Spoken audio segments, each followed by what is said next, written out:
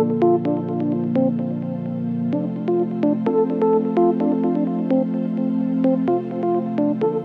basically, we're sitting up in the mountains at the top of American Fork Canyon. It's so peaceful. Just listen. Here comes a car.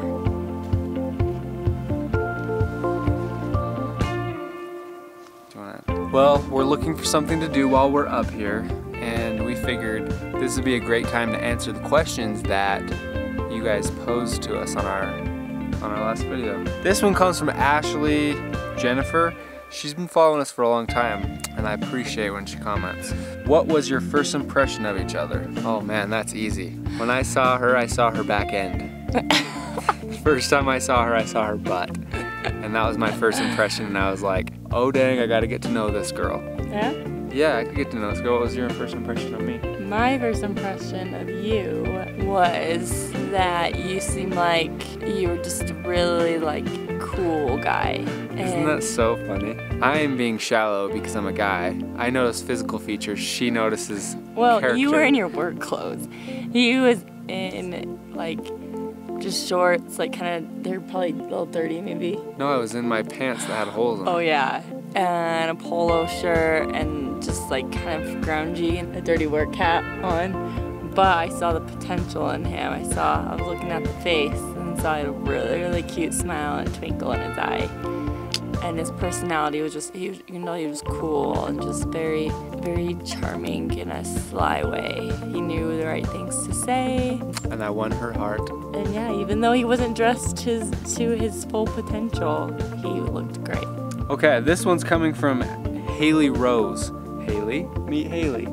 You guys even spell your Love names the the same. Her question is, how and where did you guys first meet? That kind of goes into what we were talking about with our first impression. I was at work and I needed to go get some hats because I had long hair. I was going through a rough time in my life. And I went into where she worked at PacSun. I went into where she worked at PacSun and squirrel. and uh, that's where that's where we met. And I actually um, started flirting with her, asked her asked her some questions because I thought she was gorgeous. And when I went to check out, I actually left.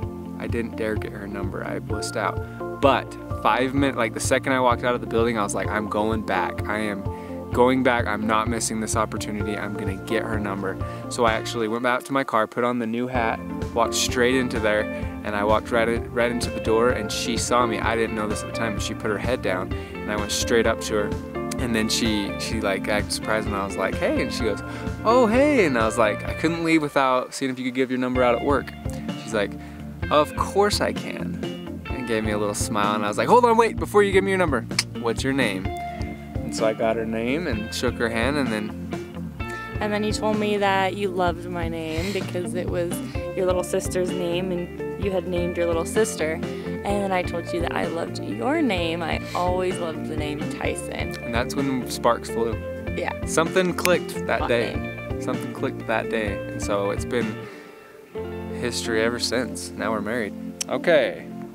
This one comes from, I'm sorry if I say this wrong, Betzeda Hernandez. When are y'all going to have a baby? That's a great question. I feel like a lot of people ask us that all the time. Especially where we're from, you're usually weird if you don't have a baby after the first year or two of marriage. And you know, I'm 24. Tyson's just about Yeah. to be 26 next week. Yeah, And people think that, you know, we should have like at least four kids by now. Yeah, that's crazy talk. We love each other and we want to enjoy each other as a couple before we have to really put our lives into a child. I'm gonna be so stoked when we have a kid. Yeah, don't get us wrong. We are so, so excited. I love kids. We are kid people, but we want to be married for a, a while before we start having kids. So we don't have a definite time. Honestly, if we accidentally had a baby, we wouldn't care. But if we had like a, if we had like a time, we'd say in a maybe year, for sure a year, and maybe farther. It really depends on where we're at in our life. And right now, it could even be two years away. But before I'm 30, that's for sure. I'm 26, gonna be 26 in a couple of days, Yeah. and she's 24, and so we got we got a lot of time. So we're gonna wait on the kids, but I know, uh, you're not the only one that's wondering that. This one comes from Thomas Borg, Borge or Borg. Seems like you guys are doing pretty good financially. What do you do for work?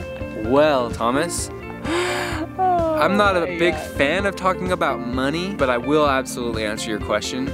So I'm a nurse. I work in the emergency department and I absolutely love it. I am very passionate about making videos and now I actually just recently am now a part of Team Supertramp which is uh, Devin Supertramp, Devin Graham. We do a lot of extreme videos, so that's what I do. I think the reason we're we look like we're doing okay is because we are, and that's because we manage our money, and that's because I've learned a lot of lessons on how to manage money and not live paycheck to paycheck.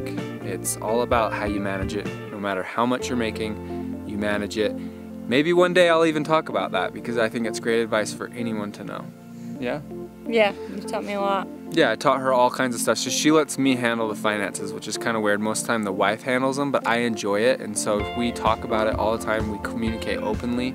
I just spend and then oh, he does she she's actually really smart with her money and I totally trust her when she goes to the mall or whatever. she knows it. She's trying to put on her front right now.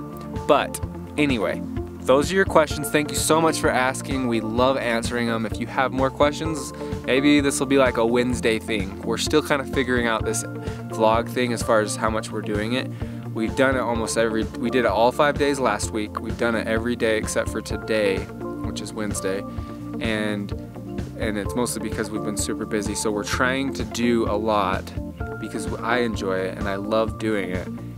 We gotta, we need the support we need people to share and like and comment because we want that engagement. Otherwise, it's hard because you feel like, and I know I don't feel like this, but you feel like you're talking to a wall. You know, you want to make sure I'm communicating with people and fans out there. We love you guys. Thank you so much for following us.